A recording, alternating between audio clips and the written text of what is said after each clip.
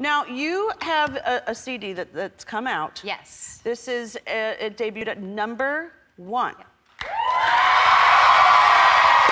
I mean, it's incredible.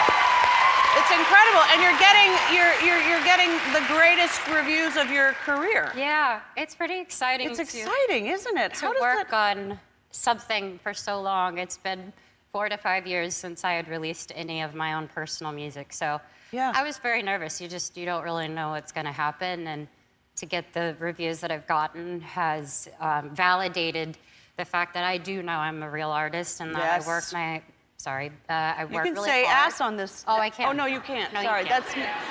I keep forgetting. Okay, but Late I night. worked really. I worked. Oh, we can say ass. Okay, well, I worked my ass off. Yes, girl.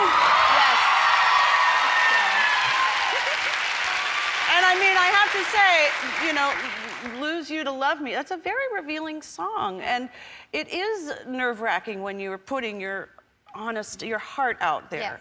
Um, and yet it always seems to pay off because that's what people really respond to is your authenticity, your beauty, and your honesty. Well, I appreciate that, and I think that was the the whole point. You know, as I was younger, I or when I was younger, I felt like it was. Um, weakness to mm. be vulnerable and to share my heart with people. And I, I realized that everybody else seemed to be narrating my life for me. Yes. So why don't I put something out that is my side of the story? It's not hateful or anything. It's simply a beautiful moment to, to let go of. And Yeah. I was really, really proud of it. Oh my gosh, congratulations. That must just feel incredible.